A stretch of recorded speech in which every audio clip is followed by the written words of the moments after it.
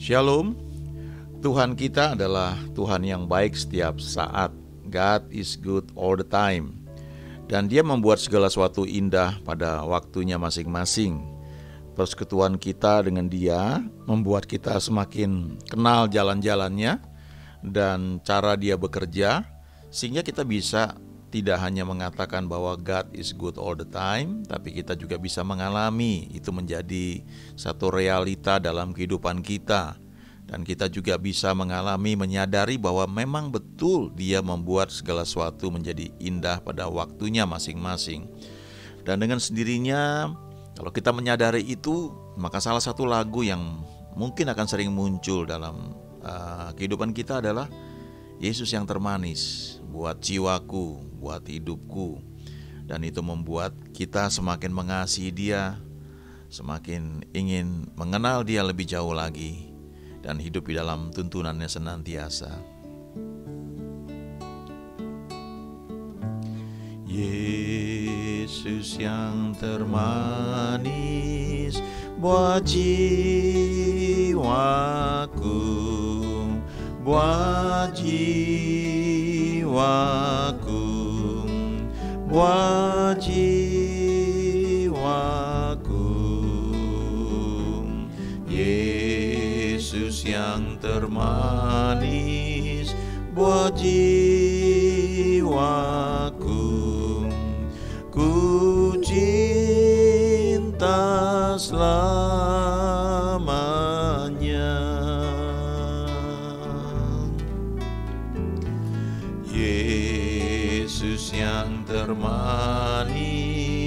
termanis buat jiwaku buat jiwaku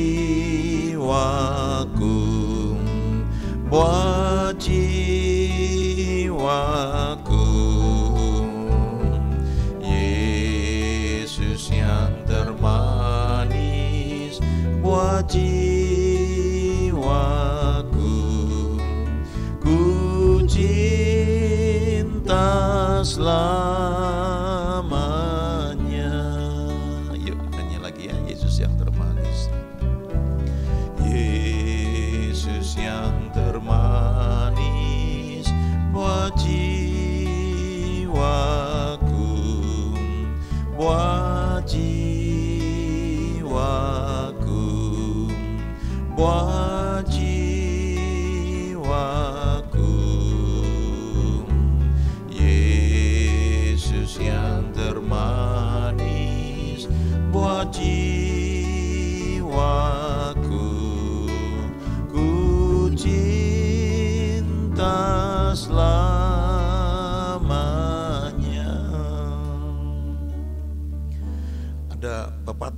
mengatakan tak kenal maka tak sayang. Kalau kita mengenal seseorang atau kita mengetahui uh, sesuatu ya dan uh, sesuatu itu sebenarnya canggih sekali ya tapi kita nggak tahu banyak. Ya misalnya kita punya handphone ya merek tertentu lalu kita cuma tahu uh, sedikit fungsinya. Kita cuma tahu uh, untuk digunakan untuk telepon kemudian untuk SMS ya. Padahal itu bisa buat uh, WhatsApp ya itu bisa buat uh, buka email kemudian bisa edit uh, apa satu teks bisa buat foto bisa buat film bisa edit foto dan banyak sekali ya. Waktu kita mulai belajar kenal fungsi dari uh, gadget tersebut kita menyadari oh ternyata banyak sekali yang bisa saya pakai ya le- lewat gadget ini. Lalu kita makin terpesona dan kita makin menikmati gadget tersebut atau handphone tersebut. Ya kalau kita mengenal Tuhan lebih jauh lagi ya kita nggak hanya kenal dia di hari Minggu sebagai Tuhan yang yang pegang kunci surga ya tapi dia Tuhan yang mau terlibat dalam kehidupan kita sehari-hari. Kita kenal dia sebagai gembala kita sebagai Tuhan yang menyembuhkan sebagai Tuhan yang um, memagari kita lebih dari cukup ya. Kita akan makin menikmati itu dan semakin kagum akan dia dan kita akan makin jatuh cinta kepada dia. Sehingga kita bisa terus nyanyikan lagu ini ya Yesus yang termanis buat jiwaku. Yesus yang termanis buat jiwaku. Buat jiwaku. Buat jiwaku. Yesus yang termanis. Buat jiwaku. Ku cinta selamanya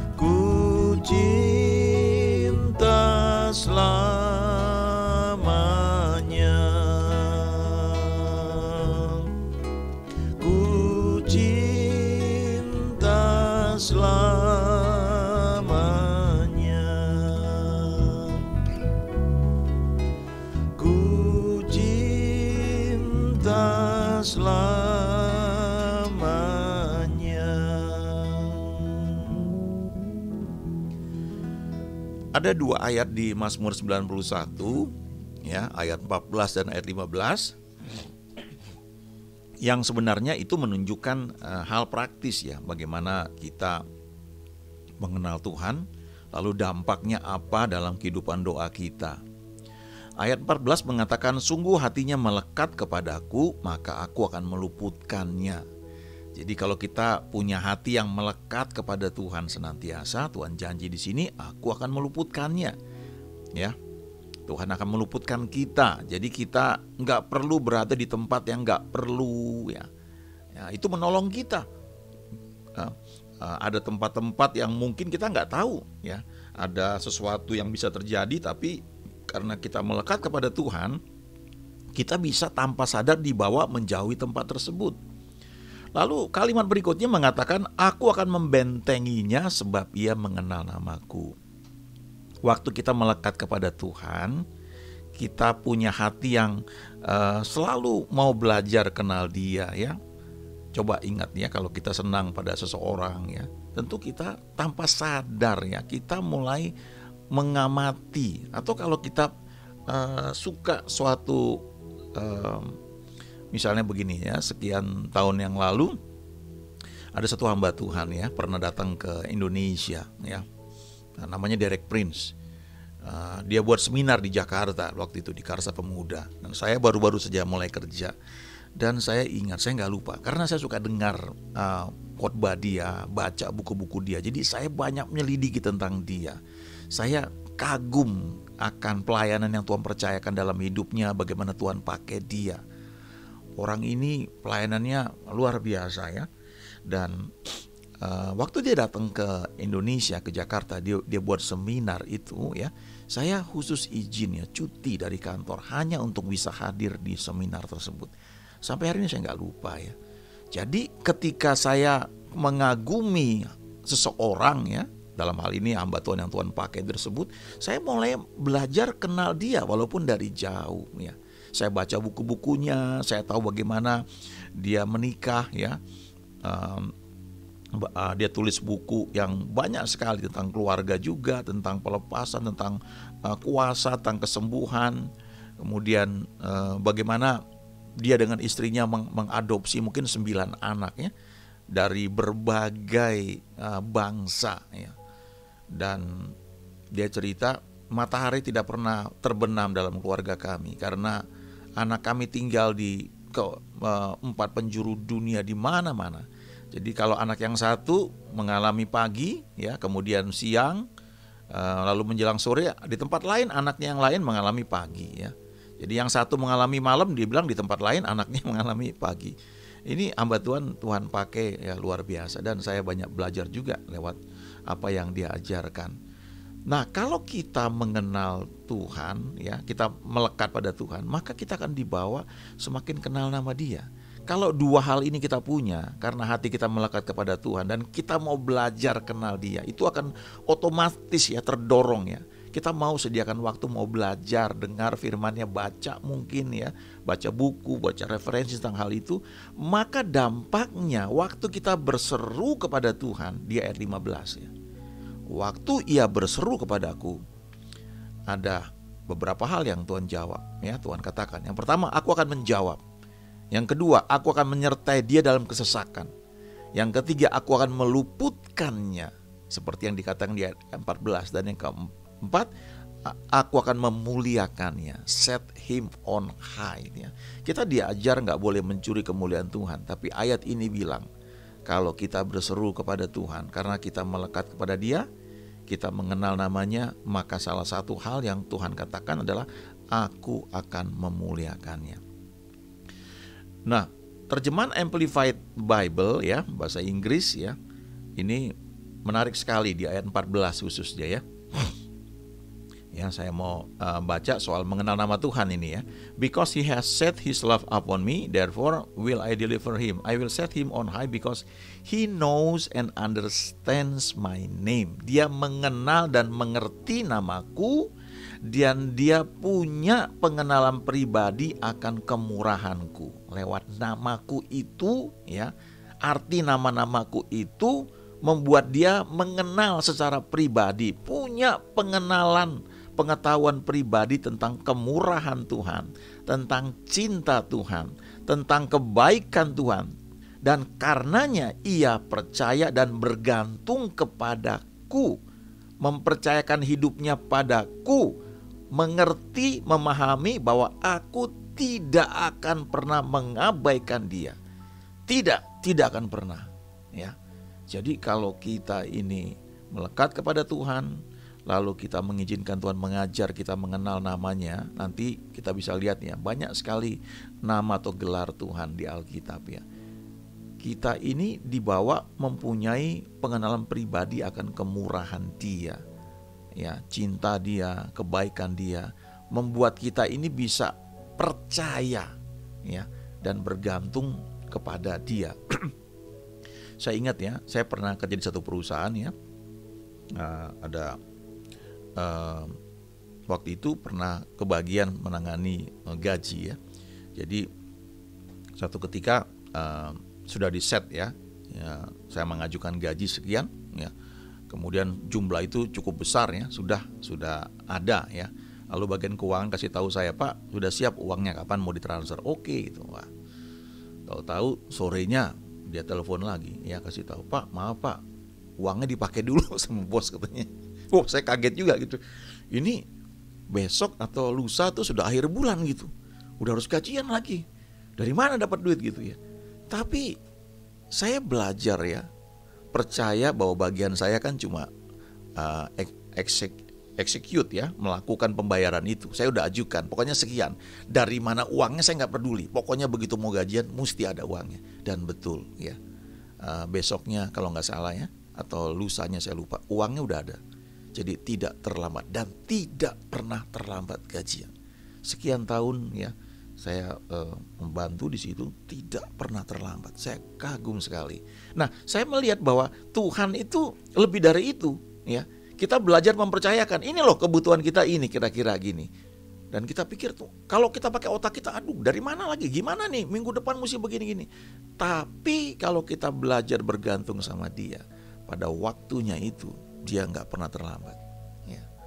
Nah itu butuh memang keputusan lalu pengalaman akan meneguhkan kita bahwa dia baik, dia dapat diandalkan. Jadi dikatakan di sini bahwa kalau kita kenal nama dia, kita menyadari bahwa dia tidak pernah mengabaikan kita, tidak akan pernah.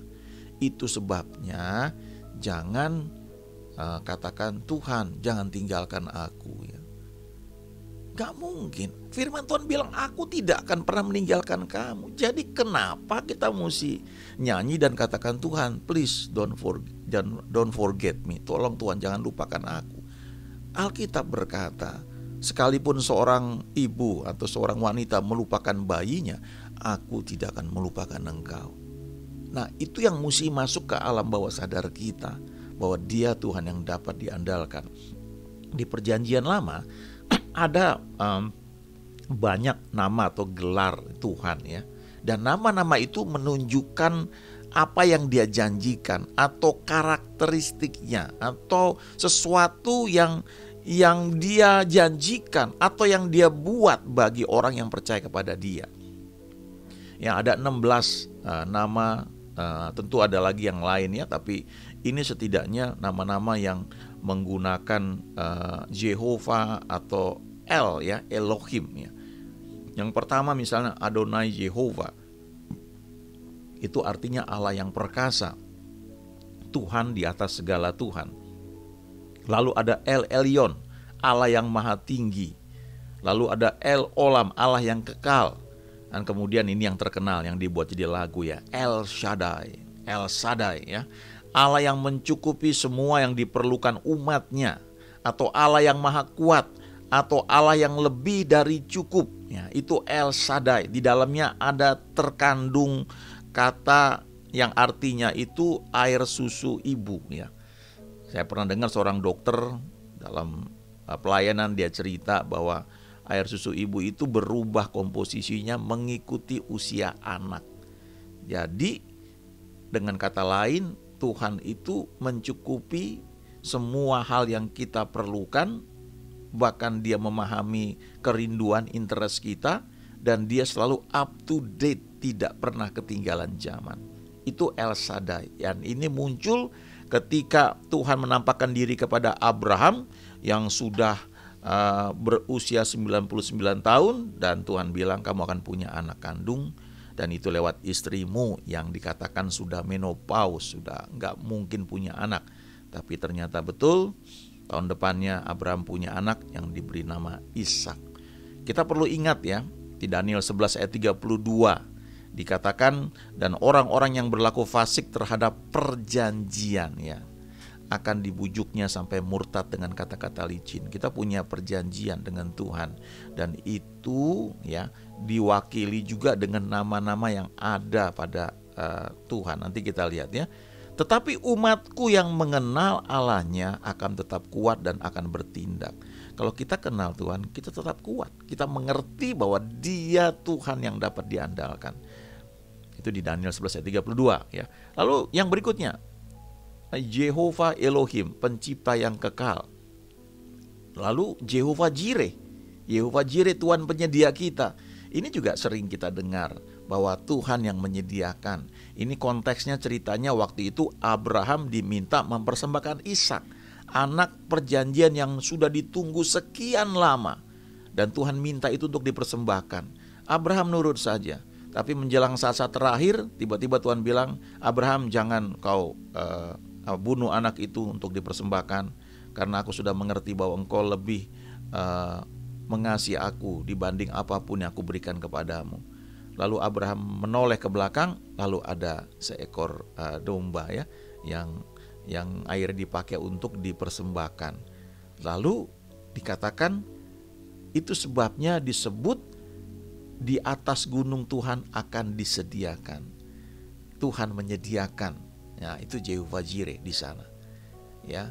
Uh, di puncak gunung, di atas gunung it shall be seen ya, akan dilihat apa yang Tuhan sediakan. Itu Jehovah Jireh. Menarik sekali kalau belajar uh, nama ini. Itu kalau diterjemahkan kira-kira Tuhan yang punya perjanjian dengan umatnya sebagai Tuhan yang menyediakan, yang mensuplai semua yang kita perlukan. Lalu Jehovah Nisi, Tuhan panji-panji kita, Tuhan yang berperang bagi kita. Kita bisa gunakan dalam doa. Ini ceritanya ketika orang Israel berperang melawan orang Amalek ya di kitab Keluaran nanti baca renungkan di sana. Lalu Jehovah Rafa ya atau ada yang bilang Rebecca dan uh, tapi sering kita sebut Jehovah Rafa ya Tuhan penyembuh kita. Ini yang sering kita kita dengar ya, bahwa Dia Tuhan yang punya perjanjian dengan kita, bahwa Dia adalah Tuhan yang menyembuhkan. Itu di Keluaran 15 kalau kita baca. Waktu itu uh, orang Israel keluar dari Mesir, Dan kemudian Tuhan buat perjanjian. Dia bilang begini, kalau kamu sungguh-sungguh memperhatikan perintah-perintahku dan berpegang pada ketetapan yang aku berikan, maka aku tidak akan menimpakan penyakit mana pun yang telah kutimpakan kepada orang Mesir, sebab aku Tuhanlah yang menyembuhkan atau Jehovah Rafa. Itu kalau terjemahan lain mengatakan begini, aku tidak akan mengizinkan penyakit mana pun menimpa kamu. Kadang-kadang kita suka bilang, ya saya sakit Tuhan mengizinkan. No, sebenarnya Tuhan nggak mengizinkan. Ya bukan bukan cara Tuhan itu mengajar kita lewat penyakit. Nggak mungkin kita kita mau mendidik anak kita untuk mengenal uh, rasa sakit itu dengan cara misalnya kita kita pukul ya, ya nggak begitu ya atau mau tahu rasanya strom ya kita strom dia nggak mungkin begitu ya. Tapi kalau anak kita misalnya sudah dikasih tahu melawan kena akibatnya, nah itu kesalahan dia tapi waktu kita, waktu masih kecil kita jagai begitu rupa, dididik, diajar jangan begini, jangan begini ya, supaya dia aman. Ya. Kalau yang punya anak kecil ya di rumah itu stop kontak ya listrik kita mesti tutup gitu ya, supaya dia jangan jalan-jalan ke situ dan colok-colok. Tapi terus kita mulai ajarin ini nggak boleh bisa kesetrum. Nah ketika dia bertambah dewasa, dia cukup pandai untuk nurut. Tapi kalau ada yang bandel mau coba-coba rasanya listrik kayak apa, lalu diam-diam dia colok colokan listriknya dia kena akibatnya. Tapi itu bukan rencana kita. Dan gak ada pikiran kita untuk bilang syukurin lo ya makanya nurutnya. Nggak ada begitu ya Tuhan itu Tuhan yang baik. Jadi kita perlu paham uh, akan salah satu nama yang dia, dia yang ada pada dia yaitu Jehovah Rafa Tuhan yang menyembuhkan berikutnya Jehovah Shalom Tuhan damai sejahtera kita. Jehovah Sikenu, Tuhan kebenaran kita, Jehovah Mekadism, Tuhan yang menguduskan, lalu Jehovah Sabot, Tuhan semesta alam, lalu Jehovah Sama, Tuhan hadir di situ, Jehovah Rohi, Tuhan gembala kita. Ini Mazmur 23. Kita sering mendengar ini mungkin ya, Tuhan adalah gembalaku, takkan kekurangan aku. Dia adalah gembala kita, Jehovah Rohi, Tuhan yang punya perjanjian dengan kita bahwa dia adalah gembala kita. Lalu Jehovah Hosinu, Tuhan pencipta kita. Kemudian Jehovah Elohinu, Tuhanlah Allah kita. Nah, kita perlu ingat di perjanjian baru satu nama ya yang mengcover itu semua di perjanjian lama yaitu nama Yesus. Nama Yesus, Yesus itu artinya savior, juru selamat. Kenapa disebut juru selamat? Karena dia melakukan pekerjaan tugas penyelamatan. Juru kunci itu orang yang pegang kunci. Juru selamat itu pribadi yang pegang keselamatan. Kalau kita butuh kunci, kita datang ke juru kunci yang pegang kunci. Kalau kita butuh keselamatan, kita datang dan tinggal dan bergaulah dengan juru selamat, yaitu Yesus Kristus. Kristus itu artinya yang diurapi, yang ditetapkan, diutus oleh oleh Allah Bapa. Jadi Yesus Kristus adalah juru selamat yang ditetapkan, diurapi untuk menjadi penyelamat bagi kita. Ada dua ayat penting yang perlu kita ingat ya. Dari tadi pembahasan mengenai Jehovah ada 16 ayat 16 nama di perjanjian lama. Ada lagi yang lain tapi setidaknya itu di perjanjian baru itu di cover semua lewat nama Yesus. Ada dua ayat penting ini yang perlu kita camkan renungkan.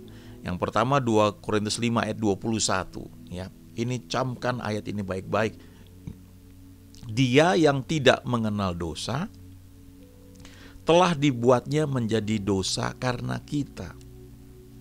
Supaya dalam dia kita dibenarkan ya, dijadikan benar oleh Allah. Jadi kalau misalnya kita perhatikan ya, kalau dalam satu persidangan ya, lalu ada terdakwa, ada uh, jaksa yang menuntut lalu dikeluarkan bukti-bukti semua, lalu ada pembela. Ya, dan setelah berlangsung beberapa lama, hakim memutuskan bahwa orang ini tidak bersalah. Maka dengan sendirinya setelah diketok palu, orang ini walaupun mungkin bisa saja dia salah, ada kesalahan dia, tapi setelah dia dinyatakan bebas, benar, maka betul-betul dia itu secara hukum betul-betul orang yang nggak bersalah untuk kasus yang sedang di di yang sebelumnya itu diajukan, dia dinyatakan benar. Apa pun kata orang, tapi hakim memutuskan dia benar. Nah, 2 Korintus 5 ayat 21 mengatakan Tuhan Yesus itu tidak berdosa, tidak mengenal dosa.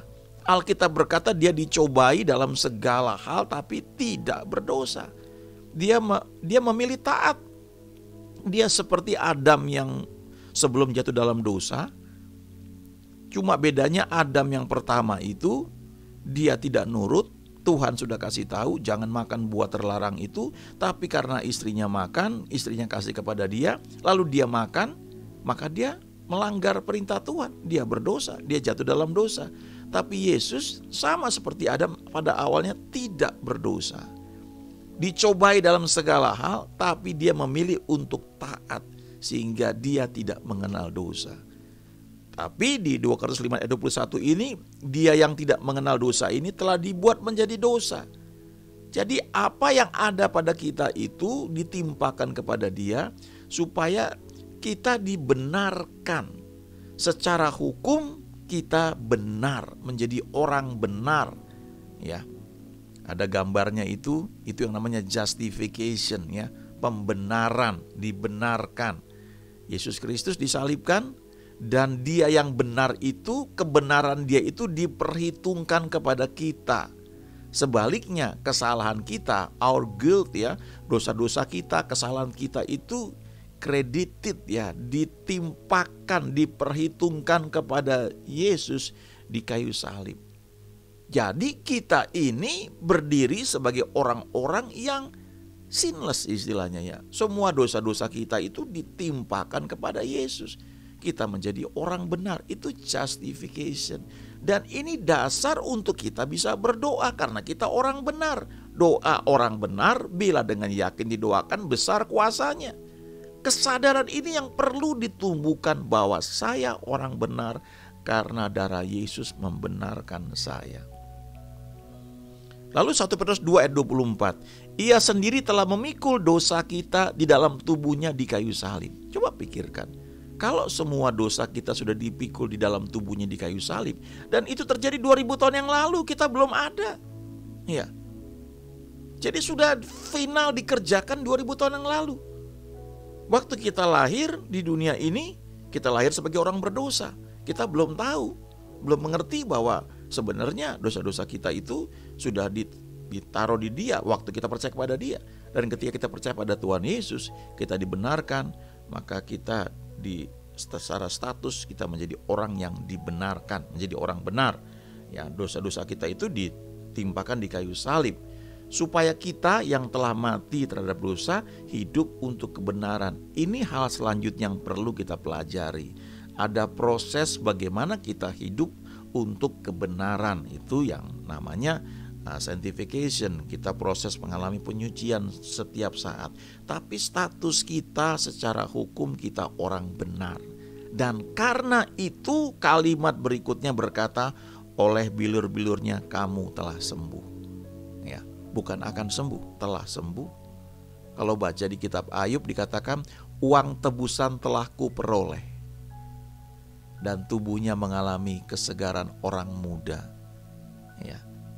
Ada tebusan yang mesti dibayar dan itu sudah dibayar oleh Tuhan Yesus. Jadi posisi kita adalah orang benar itu sebabnya ya kalau dalam uh, kebaktian mungkin kadang-kadang ada healing yang terjadi ketika firman diberitakan. Tapi sebagai orang benar, orang per, yang percaya pada Yesus, kita perlu ingat bahwa kesembuhan adalah hak setiap orang percaya. Kita perlu menyadari hal itu. Dan di dalam roh sebenarnya karena kita ciptaan baru sudah dibenarkan, semua yang Tuhan janjikan itu sudah ada, sudah tersedia. Bagaimana kita menyadari hal itu dan mengizinkan itu terrealisasi real dalam hidup kita. Ya, satu cerita yang ada satu orang hamba Tuhan. Dia mengalami satu penyakit yang membuat telinganya itu kelihatan beda ya. Dan uh, ini ini kesaksian dia ya. Jadi uh, jangan ditiru mentah-mentah tapi ini kesaksian dia dibilang saya tidak pernah ke dokter karena saya percaya bahwa Tuhan menyembuhkan saya saya sudah sembuh 2000 tahun yang lalu. itu secara sah, secara hukum ya. Jadi dia bilang, saya nggak nggak pernah bawa itu ke dokter, tapi saya punya pengerja-pengerja yang selalu ngelihat saya dan kasih tahu, eh telingamu tuh mengalami kayak begini loh, nanti bisa begini-begini. Ya dia, oh dia bilang, oh Tuhan sudah sembuhkan saya. Dan itu kalau nggak salah butuh waktu, saya lupa ya berapa tahun. Dan satu ketika pengerjanya bilang, eh telingamu sudah sembuh katanya. Terus dia bilang, kan sudah saya bilang sekian tahun yang lalu saya sudah sembuh. Walaupun butuh waktu lama dia bilang saya nggak nggak pedulikan itu karena saya percaya firman Tuhan bahwa oleh bilurnya saya sudah sembuh bukan akan sembuh sudah sembuh. Bertahun-tahun yang lalu saya hadir di satu KKR di Bandung ya. KKR yang luar biasa. Ada ribuan orang hadir di satu gedung yang di Bandung waktu itu paling besar ya di satu gor ya gelanggang olahraga Lalu ketika mau doa kesembuhan, ada seorang hamba Tuhan, seorang teacher, pengajar. Dia sudah bersama Tuhan sekarang ya. Tapi waktu itu dia melayani dan seorang pengajar yang bagus sekali. Sebelum mendoakan orang sakit, dia berdiri di panggung dan dia bilang begini. Ya. Dia baca ini 1 Petrus 2 ayat 24. Oleh bilur-bilurnya kamu sudah sembuh. Lalu dia bilang begini. Jadi Bapak Ibu yang sakit jantung, coba dengar firman Tuhan jantung bapak ibu itu yang sakit sudah ditimpakan di kayu salib 2000 tahun yang lalu. Yang sekarang ada itu adalah jantung yang baru. Ya, ini pemberitaan yang perlu Bapak Ibu percaya. Sebab firman Tuhan bilang begini, kalau kamu berdoa, percayalah kamu sudah menerimanya, maka kamu akan menerimanya. Jadi dia bilang coba percaya dulu. Ya. Lalu setelah dia jelaskan beberapa hal, ini belum berdoa dia tanya, sekarang siapa yang sudah sembuh? Beberapa orang angkat tangan hanya mengenal pengertian itu. Ada satu lagi kesaksian ya. Ada satu orang didoakan, matanya nggak bisa lihat. Nah ini unik sekali ya. Waktu ditumpangin tangan ya, didoain. Sekarang dia bilang gini, sekarang kamu bisa udah, udah bisa lihat belum? Lalu orang ini buka mata, terus dia bilang gini, saya nggak suruh kamu buka mata, ya. Terus dia tutup mata lagi didoain lagi. Sudah bisa lihat belum? Lalu orang ini buka mata lagi. Saya nggak suruh kamu buka mata. Tutup mata kamu. Tutup lagi didoain. Sudah bisa lihat belum? Terus dia buka lagi mata. Saya nggak suruh kamu buka mata. Tutup matamu. Coba lihat. Apakah kamu sudah bisa melihat? Jadi artinya ketika didoakan itu dia melihat dalam imajinasinya bahwa saya sudah bisa melihat. Dan dia bilang, "Ya, saya bisa melihat." Dan tiba-tiba matanya sembuh, bisa melihat. Wow, saya mendengar kayak begitu ya. Ini cerita kayak begini banyak ya. Hamba-hamba Tuhan yang bergerak dalam kesembuhan ilahi, ada yang mengerti, yang yang uh, apa? Mujizat itu terjadi ketika kita percaya kepada Tuhan. Satu cerita lagi ya. Ada satu hamba Tuhan gerejanya besar luar biasa ya di Asia. Dan satu ketika dia dapat telepon, dia punya pengerja jatuh dari lantai 4 kalau nggak salah dan dalam keadaan kritis. Terus ketika ditelepon dia bilang gini, tolong buat apa saja, pertahankan dia hidup sampai saya selesai pelayanan. Saya akan ke sana. Dan begitu dia selesai pelayanan, dia ke rumah sakit di ICU, ini orang sudah koma. Lalu pendeta ini berdoa, Tuhan tolong supaya dia sadar, beri saya lima menit untuk bicara sama dia. Dan tiba-tiba orang ini sadar. Dan orang ini bilang, waduh pastor saya I am dying, saya sudah sekarat, saya akan meninggal. No, no, stop, stop, jangan ngomong begitu, jangan ngomong begitu, kata pendeta ini. Sekarang dengar ya, saya berdoa untuk kamu. Kamu tutup mata kamu, ya. Coba kamu bayangkan, seorang pria yang sehat, pulang kantor, pulang pekerjaan, dari pekerjaan, sampai di rumah istrinya menyambut, dan um, apa uh, memeluk dia. Anak-anaknya juga datang hai daddy ya. Kemudian masuk ke dalam rumah ya. Dia mandi kemudian makan menikmati persekutuan dengan keluarga. Bisa kamu bayangkan itu? Ya bisa pastor. Nah bayangkan itu itu adalah kamu. Bisa bayangkan itu? Ayo sekarang sepakat dengan saya saya doakan. Lalu pendeta ini tumpang tangan Tuhan saya meteraikan apa yang dia lihat dia sembuh, dia pulih, dia sudah sembuh. Seperti janjimu oleh bilur-bilurmu, dia telah sembuh. Dalam namamu, dalam nama Yesus saya berdoa, amin. Orang ini butuh waktu beberapa hari ya, kemudian pindah ke kamar biasa dan kemudian gak lama dia keluar dari rumah sakit dan dia sembuh. Tidak ada yang musal bagi orang percaya, tapi kita perlu belajar mengenal nama dia. Coba renungkan dua ayat ini baik-baik. 2 Korintus 5 ayat 21. Kita dibenarkan. Kita orang-orang yang sudah dibenarkan. Dan karena itu juga kita orang-orang yang sudah disembuhkan 1 Petrus 2 ayat 24. Ayo kita berdoa. Kau yang termanis dalam hidup kami, bahwa kami mengenal namamu lebih jauh lagi Tuhan. Dan kami boleh memahami bahwa God is good all the time.